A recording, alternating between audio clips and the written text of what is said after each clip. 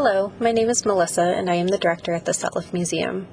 Thank you for joining us for our second presentation in our Faces of Freedom digital lecture series.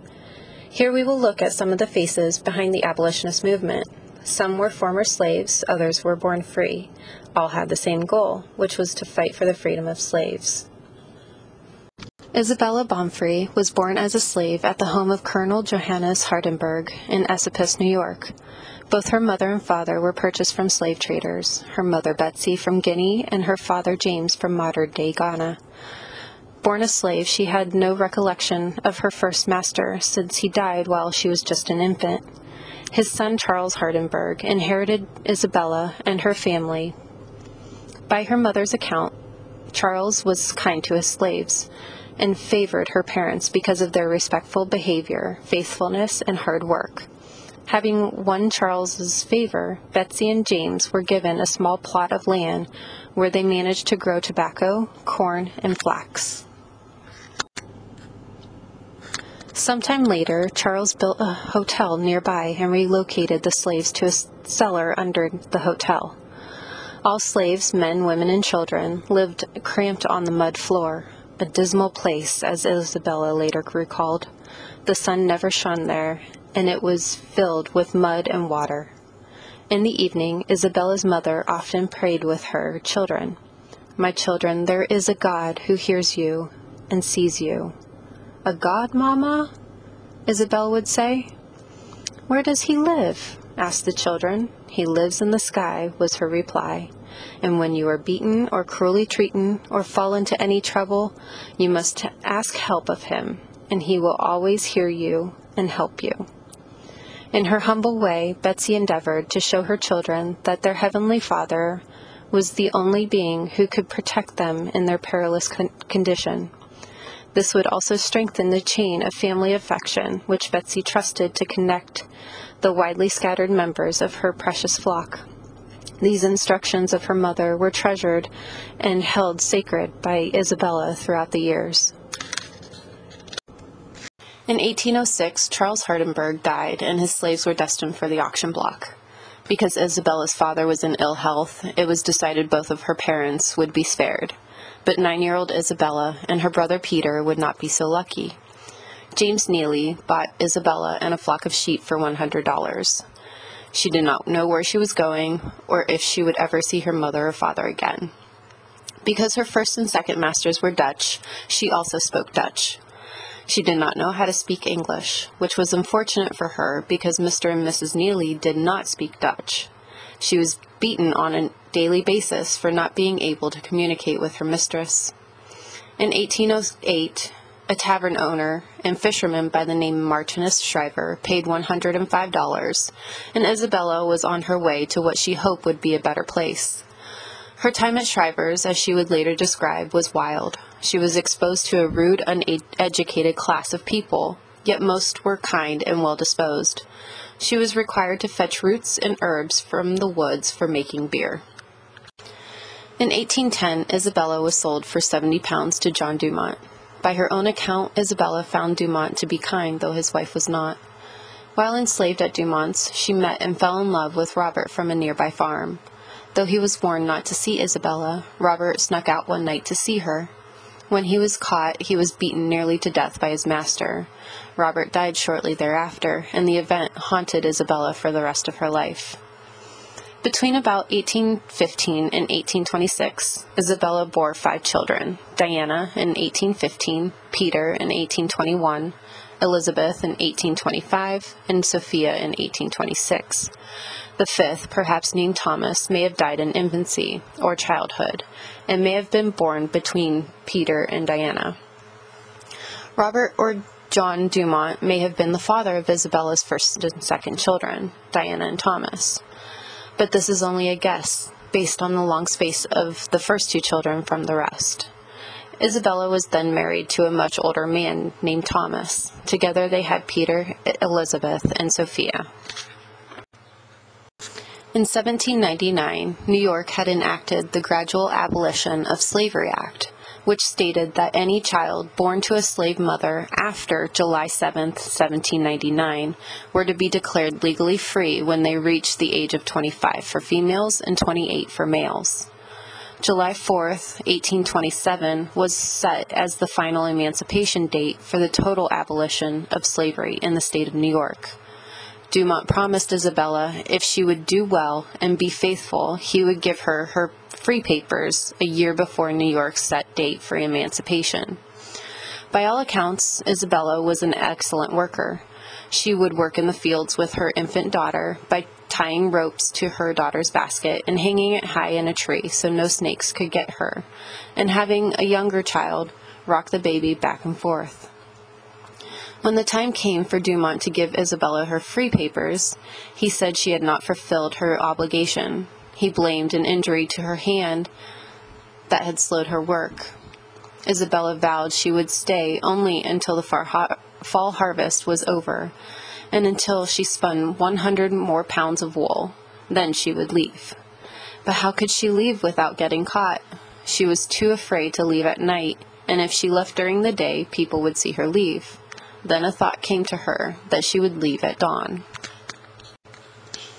Late in 1826, Isabella packed all of her clothes and provisions in one cotton handkerchief and left with her baby Sophia.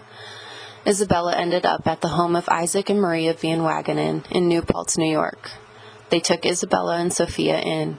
It was not long after that Dumont came looking for his possessions, which had run off. I did not run off, Isabella told him, for I thought that wicked, but I walked off, believing that all right. When Dumont demanded she return, or he would take her by force, Van Wagenen said he was not in the practice of buying and selling of slaves, but that he would pay Dumont $20 for Isabella's services for the remainder of the year until New York's emancipation would take effect. When Isabella referred to Mr. Van Wagenen as master, he said, There is but one master, and your master is my master. When Isabella asked what she should call them, he said to call them by their names. Isabella lived with the Van Wagenens for one year, and due to their kindness during that time, she converted to Christianity. It was also during this time that Isabella found out her five year old son Peter had been sold to a plantation in Alabama. With the help of the Van Wagenens and other Quakers in the community, Isabella was able to file a case against Dr. Gedney to get her son back. It was the first case where a black woman won against a white man. Oh my God, I know I'd have him back again. I was sure God would help me get to him. Why I felt so tall within, I felt as if the power of a nation was with me, Isabella said. Although Isabella did get her son back, Peter had been badly abused physically and made to lie in court that Isabella was not his mother. Later, Isabella moved to New York City, working as a housekeeper for evangelist Elijah Pierson, and befriended a baker named Mary Simpson. Simpson claimed to be one of George Washington's former slaves. Although there is no record of her in the Mount Vernon slave indices, there is an 11 year old named Mary mentioned. Every year on Washington's birthday, Mary Simpson would celebrate by making ginger cakes and whiskey punch for her customers. Isabella was later employed by Robert Matthews, known as Prophet Matthias, as a housekeeper. When Pierson died, under suspicious circumstances. Both Isabella and Matthews were accused of poisoning him. Both were acquitted of the murder, but Matthews was convicted of lesser crimes. In 1839, Isabella's son Peter boarded the Zone of Nantucket whaling ship, never to be seen again. When the ship came back to, into port, he was not on it. In his last letter to his mother, Peter wrote, Get me to my home, that's in the far west, to the scenes of my childhood that I like the best. There the tall cedars grow and the bright waters flow. Where my parents will greet me, white man, let me go. Let me go to the spot where the cataract plays, where oft I have sported in my boyish days. And there is my poor mother, whose heart ever flows at the sight of her poor child. To her, let me go, let me go. By 1843, Isabella felt God calling her to preach the truth. It was at this time that she changed her name to Sojourner Truth. The Spirit calls me and I must go, she told her friends. Taking only a few possessions with her, Sojourner began traveling and preaching. In 1844, she joined the Northampton Association of Education and Industry. While there, she met abolitionists Frederick Douglass and William Lloyd Garrison and gave her first anti slavery speech. Although she can neither read nor write, she dictates her biography, with the proceeds from her book, The Narrative of Sojourner Truth, a Northern Slave, and her photographs, Truth was able to pay off her $300 mortgage on her home in Florence, Massachusetts. Truth spoke against slavery and for women's rights. In 1851, Truth attended the Ohio Women's Rights Convention in Akron, Ohio. When she got up to speak, there were voices in the crowd who did not want to align themselves with the abolitionist movement. They did not want to hear what this six foot black woman had to say.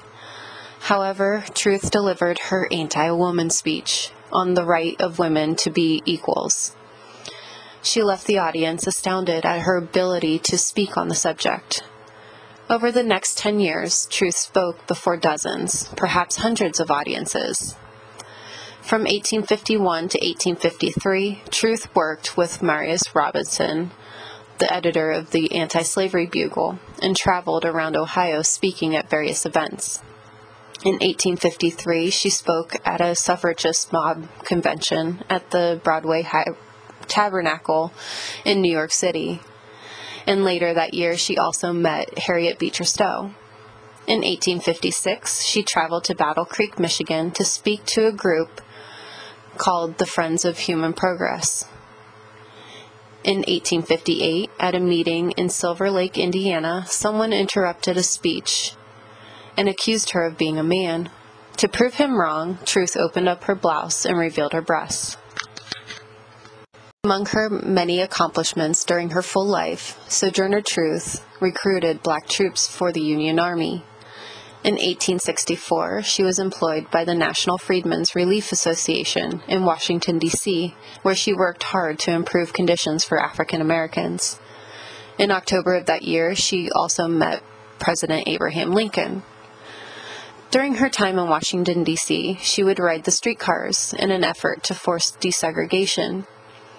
In 1870, Sojourner Truth tried to secure land grants for former slaves, an endeavor she pursued for seven years without success. In 1872, she worked on Ulysses S. Grant's presidential campaign. On election day, Truth was turned away from voting at the polls. Sojourner Truth settled in Battle Creek, Michigan, but continued to travel and speak and fight for equality until her death at her home on November 26, 1883. Not everyone welcomed her preaching and lectures, but she had many influential supporters over the years, including William Lloyd Garrison, Susan B. Anthony, Lucretia Mott, and so many others. Life is a hard battle anyway. If we laugh and sing a little as we fight the good fight of freedom, it makes it all go easier. I will not allow my life's light to be determined by the darkness around me. Sojourner Truth's legacy can be seen throughout the country with a monument in Battle Creek, Michigan, and a bronze bust located in Emancipation Hall of the U.S. Capitol's Visitor Center, to name a few. Thank you for joining me for this presentation of Faces of Freedom. If you have any questions, please email or call the Sutliff Museum. Please follow us on social media for more facts about the abolitionist movement, the Victorian era, and of course, the Sutliff family. Thank you.